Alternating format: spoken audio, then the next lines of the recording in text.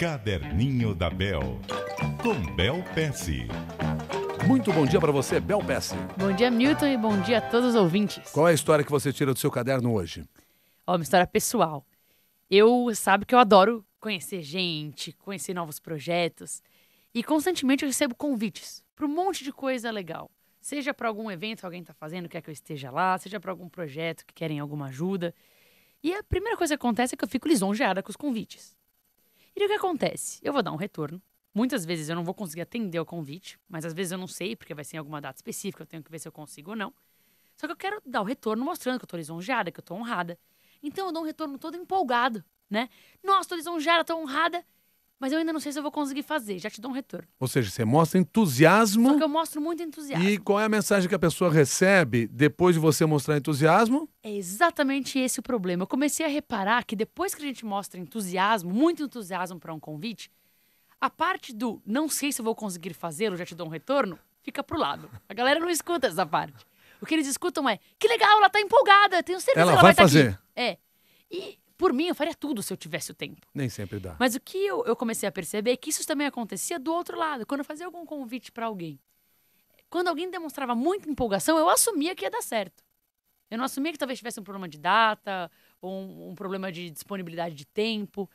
Então eu comecei a perceber que quando alguém te faz algum convite, o que, que é muito importante? Qual que foi a anotação do meu caderninho? Você dá o contexto certo na resposta. Claro que você tem que mostrar o quanto você está lisonjeado, o quanto você está honrado. Mas deixa muito claro que não é a resposta que você está dando ainda. Se você não tiver ainda a resposta, se é algo que você precisa de tempo e ainda talvez seja um não, deixa isso claro. Porque é muito fácil a pessoa acabar se magoando com algo que ela espera que seja assim.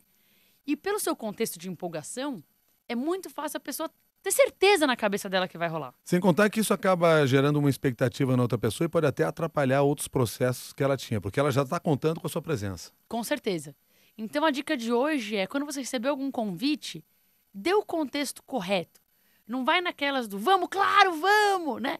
E some. É, dá o contexto correto, mostra, claro, o quanto está lisonjeado, mas não, não prometa ou não deixe claro que talvez você faça sem saber que você vai estar lá mesmo. Ou seja, apresente o contexto claro para as pessoas, mostrando sim que você acredita naquela ideia, mas que ainda faltam algumas coisas para você confirmar, mais ou menos por aí. Elas vão te respeitar muito mais se você tiver esse contexto do que se você falar que vai estar lá e depois não tiver.